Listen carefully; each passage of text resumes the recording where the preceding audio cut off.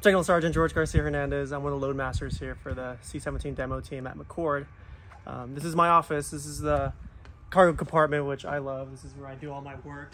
As you can see, this is a big space. You know, uh, we can load up to 171,000 pounds of cargo, which is amazing. We've loaded tanks, we can load Humvees, we load people.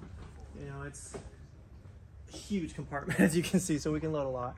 Um, as you can see, we have the troop doors open. We have some of our jumpers, our parachutists that come out or jump out of these doors.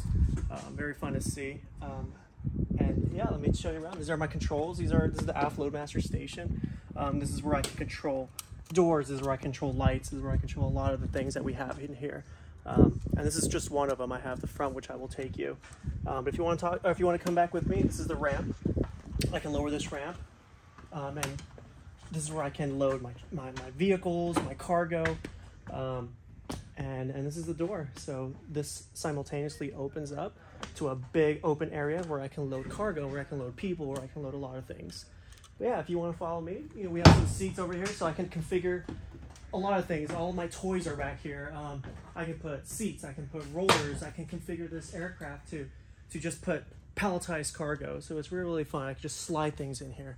Um, it's very diverse and it's very versatile, which I love about that.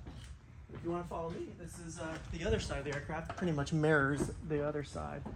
But um, as you can see on the wall, we have different kinds of devices for me to, to tie down. We have, these are our, our chain devices where I can load vehicles and I can put chains. As you can see, the chains are right here.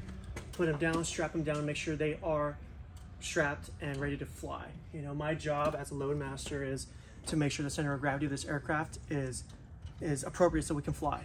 You know, I have to balance the aircraft, so to, so to speak. So that's my main job, um, along with a lot of things I have to uh, to make sure everything is working. Um, this is the other uh, load master station.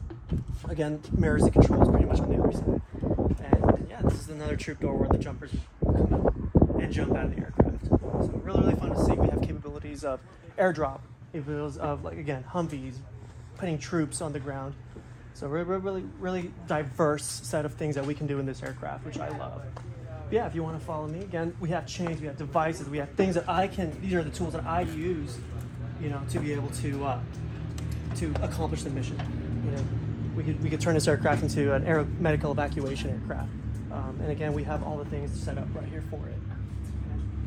Yeah, and then this is my, this is, so to speak, my office, right? This is the forward load master station. This is where I would sit most of the time. These are all my controls just like I showed you on the back panel, I have the bigger panel, right? This is where I actually sit, I calculate, I comp, you know, compute all my center of gravity. So yeah, this is pretty much in a nutshell what I do, and this is what I, um, I love to do.